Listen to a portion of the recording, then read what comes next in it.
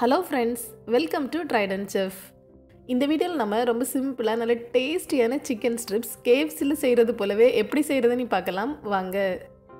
இது செய்கிறதுக்கு நான் ஒரு சிக்கன் பிரெஸ்ட் பீஸ் எடுத்து வச்சுருக்கிறேன். இந்த சிக்கன் பிரெஸ்ட் பீஸோட வெயிட் மட்டுமே அறநூறு கிராம் இருந்தது. அதனால நான் ஒரு சிக்கன் பிரெஸ்ட் பீஸ் தான் யூஸ் பண்ணுறேன் இனி நம்ம இதை நீளமாக சின்ன பீஸாக கட் பண்ணி எடுத்துடலாம். ரொம்ப நீளமாக இருந்தது அப்படின்னா கூட பாதியாக கட் பண்ணி எடுத்துக்கோங்க. பாருங்கள் இந்த அளவுக்கு நான் கட் பண்ணி எடுத்து வச்சுருக்கிறேன். அடுத்து நான் ஒரு ஃபோக் எடுத்து இதே போல் சிக்கன் எல்லாத்தையுமே லைட்டாக குத்தி விடுறேன். இதனால நம்ம சிக்கன் ஃப்ரை பண்ணுற நேரம் வெளியில் உள்ள லேயர்லாம் நல்லா கிறிஸ்பியாக உள்ளேயும் நல்லா ஜூஸியாக சூப்பராக வந்துடும் எல்லா சிக்கனையும் இதே போல் நான் செஞ்சு எடுத்து வச்சுருக்கிறேன். இனி நம்ம அந்த சிக்கனுக்கு தேவையான மசாலா எல்லாம் ரெடி பண்ணிடலாம். அதுக்கு ஒரு மிக்சிங் பவுலில் ஒரு டேபிள் ஸ்பூன் அளவு மிளகாய்த்தூள் அரை டீஸ்பூன் பெப்பர் பவுடர் ஒரு டீஸ்பூன் கார்லிக் பவுடர் சேர்க்குறேன். கார்லிக் பவுடர் இல்லை அப்படின்னா மூன்று பல் பூண்டை மிக்சியில் நல்ல பேஸ்ட் அரைத்து எடுத்து சேர்த்துக்கோங்க. கூடவே ஒரு டேபிள் ஸ்பூன் வினிகர் தேவையான அளவு உப்பு சேர்த்துக்கிறேன். எல்லாத்தையும் சேர்த்து நல்லா மிக்ஸ் பண்ணி விட்டுடலாம். தண்ணீர் எதுவும் சேர்க்க தேவையில்லை. நல்லா மிக்ஸ் பண்ணி விட்டுடுங்க.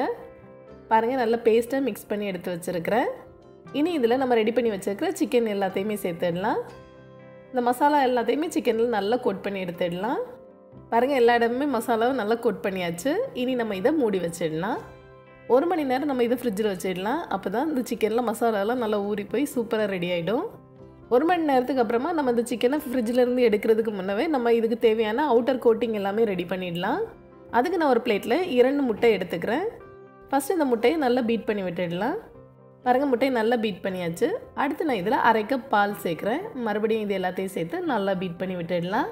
இந்த பால் முட்டையை சேர்த்து நல்லா பீட் பண்ணதுக்கப்புறமா நம்ம இதில் சிக்கனை டிப் பண்ணி நல்லா கோட் பண்ணிவிட்டு அதுக்கப்புறம் நம்ம ஃப்ரை பண்ண ஸ்டார்ட் பண்ணோம் அப்படின்னா சிக்கன் ரொம்ப சூப்பராக சாஃப்டாக நல்ல கிறிஸ்பியாக ரெடி ஆகிடும் எல்லாமே நல்லா பீட் பண்ணியாச்சு. அடுத்து ஒரு பெரிய மிக்சிங் பவுலில் நான் இரண்டு கப் மைதா சேர்க்குறேன். இது கூடவே அரை கப் கார்ன்ஃப்ளோர் ஒரு டேபிள் ஸ்பூன் மிளகாய்த்தூள் கால் டீஸ்பூன் பெப்பர் பவுடர் அரை டீஸ்பூன் கார்லிக் பவுடர் சேர்க்குறேன். கார்லிக் பவுடருக்கு பதிலாக நீங்கள் கார்லிக் பேஸ்ட்டும் சேர்த்துக்கலாம். இதுக்கு தேவையான அளவு உப்பு சேர்க்குறேன். நம்ம சிக்கனுக்கு ஃபஸ்ட்டே தேவையான அளவு உப்பு சேர்த்தாச்சு. நம்ம இந்த மாவுக்கு மட்டும்தான் நம்ம இப்போ உப்பு சேர்க்கணும். எல்லாத்தையும் சேர்த்து நல்லா மிக்ஸ் பண்ணி விட்டுடலாம். உங்களுக்கு சிக்கன் நல்லா ஸ்பைசியாக வேணும் அப்படின்னா கூட அரை டீஸ்பூன் சில்லி பவுடர் சேர்த்துக்கோங்க. எல்லாம் நல்லா மிக்ஸ் பண்ணியாச்சு. அடுத்து ஒரு மணி நேரத்துக்கு அப்புறமா நம்ம ஃப்ரிட்ஜில் வச்சு எடுத்து வச்சுருந்த சிக்கனும் ரெடி ஆகிடுச்சு இதுலேருந்து ஒரு பீஸ் எடுத்து நம்ம ஃபஸ்ட்டு முட்டையும் பாலும் கலக்கி வச்சுருந்தோம்ல அதில் ஃபஸ்ட்டு நல்லா கோட் பண்ணி எடுத்துடலாம். அதுக்கப்புறமா இந்த மாவில் நல்லா கோட் பண்ணி எடுத்துடலாம். மறுபடியும் இந்த சிக்கனை நம்ம முட்டையும் பால்லையும் நல்லா கோட் பண்ணிவிட்டு அடுத்து மாவில் நல்லா கோட் பண்ணி எடுத்துடலாம். இதே போல் நம்ம இரண்டு தடவை செய்கிறதுனால சிக்கன் நல்லா கிறிஸ்பியாக சூப்பராக வரும். பாருங்கள் சிக்கன் சூப்பராக ரெடி ஆகிடுச்சு இனி நம்ம ஃப்ரை பண்ணிடலாம். ஸ்டவ்வில் கடாய் வச்சு பொரிக்கிறதுக்கு தேவையான அளவு எண்ணெய் எடுத்து வச்சுருக்கிறேன். எண்ணெய் நல்லா சூடான பிறகு நம்ம எல்லா சிக்கனையுமே இதில் ஃப்ரை பண்ணி எடுத்துடலாம்.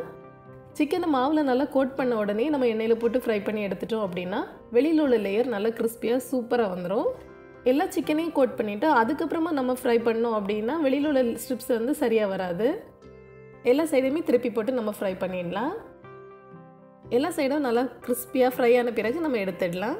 பாருங்கள் ஸ்ட்ரிப்ஸ் எல்லாம் ரொம்ப சூப்பராக வந்திருக்குது. வெளியே உள்ள லேயர் பார்க்குறதுக்கே நல்லா சூப்பராக வந்திருக்குது. இதே போல் நம்ம எல்லா சிக்கனையுமே ஃப்ரை பண்ணி எடுத்துடலாம். இந்த சிக்கன் ஸ்ட்ரிப்ஸ் வந்து நம்ம கேஎஃப்சியில் வாங்குற சிக்கன் ஸ்ட்ரிப்ஸ் போல் சூப்பராக இருக்கும். எல்லா சிக்கனையுமே ஃப்ரை பண்ணி எடுத்தாச்சு. இது கூடவே நம்ம ஸ்பெஷலான டைனமிட் சாஸ் வச்சு சாப்பிட்டோம் அப்படின்னா டேஸ்ட் ரொம்ப நல்லாயிருக்கும் இந்த சாஸ் வந்து நம்ம ஃபஸ்ட்டே பர்கர் செய்ய நேரம் ப்ரிப்பேர் பண்ணியிருக்கிறேன். அதோட லிங்க்கை நான் டிஸ்கிரிப்ஷனில் கொடுத்துருக்குறேன். நீங்கள் செக் பண்ணிக்கோங்க.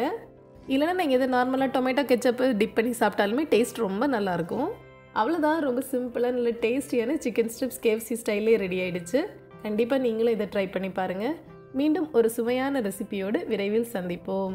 தேங்க்ஸ் ஃபார் வாட்சிங்